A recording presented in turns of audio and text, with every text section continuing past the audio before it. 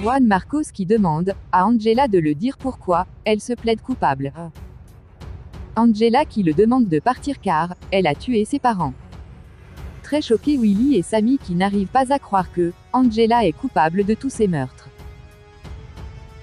Vicente qui n'arrive pas à sortir de la tête que il a tué Pavola. Miguel qui veut à tout prix faire tomber les personnes, qui retient Fabiola.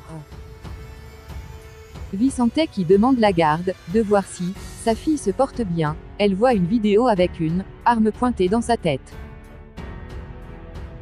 Elle essaye de faire diversion pour que Miguel, entre dans la bureau du chef. Samantha et Willy savent, qu'elle est innocente, ils se demandent pourquoi elle a fait ça. Angela une fois à la barre, elle parle le nom de son complice, en disant c'est Louise qui tuait elle ne faisait que suggérer les personnes qu'il va devoir, assassiner. Très furieux Juan Marcos qui n'a plus, envie d'aider Angela. Miguel qui est surpris en train, de fouiller sur les dossiers de Fabiola.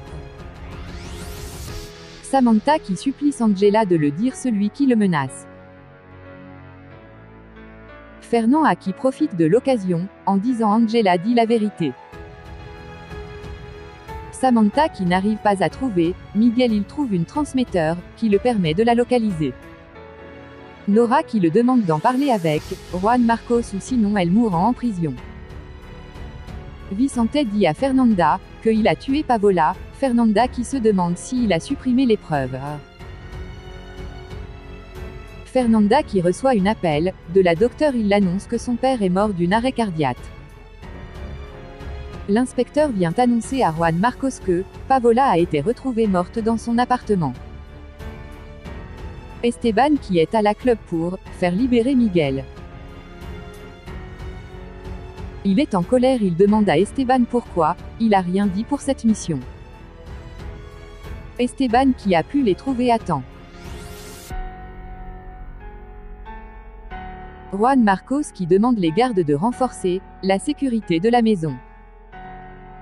Angela qui est condamnée à perpétuité.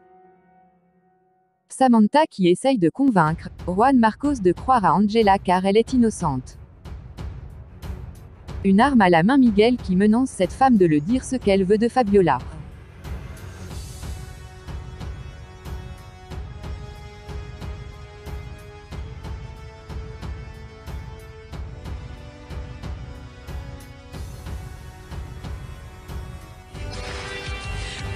Cuidarte y que escuches mis suspiros, que sientas